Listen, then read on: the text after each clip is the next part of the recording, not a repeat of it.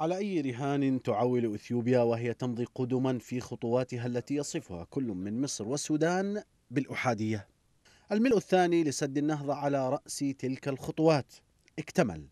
بعد إعلان الحكومة الإثيوبية رسميا الانتهاء من مرحلة ملء السد حيث أكدت وزارة الري الإثيوبية أن الماء قد تجاوز قمة السد مشيرة إلى أن كمية الأمطار التي تهطل هذا العام هائلة ما ساعد على امتلاء بحيرة السد دون الحاجة لغلق بواباته.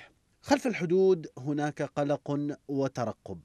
الحكومة السودانية شكت غياب المعلومات الكافية بشأن سريان عملية تعبئة سد النهضة، ما يجعلها في حالة استنفار خوفا من أي طارئ، وهذا يتماهى مع تحذير سابق لوزارة الري السودانية من فشل إثيوبيا في الملء الثاني، كما دعت القاطنين على جانبي النيل إلى الحيطة والحذر جراء ارتفاع متوقع لمياه النهر نتيجة للأمطار الغزيرة في الهضبة الإثيوبية.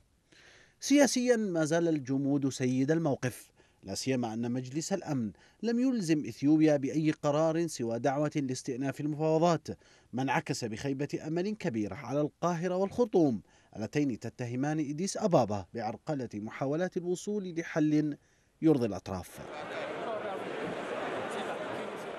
الاتحاد الإفريقي يسعى لاستضافة جولة جديدة من مفاوضات سد النهضة إذ خاطب الدول الثلاث في إطار مبادرة لبدء جولة مباحثات في كينشاسا خلال أسبوعين بعد ثلاثة أشهر من التوقف.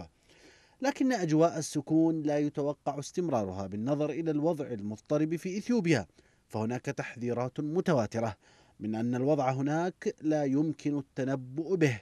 خصوصا أن إثيوبيا في أضعف حالاتها عسكريا بسبب الحرب في تيغراي ومنهكة دبلوماسيا بسبب أزمة السد وهي تبدو أبعد من أي وقت مضى عن الحل.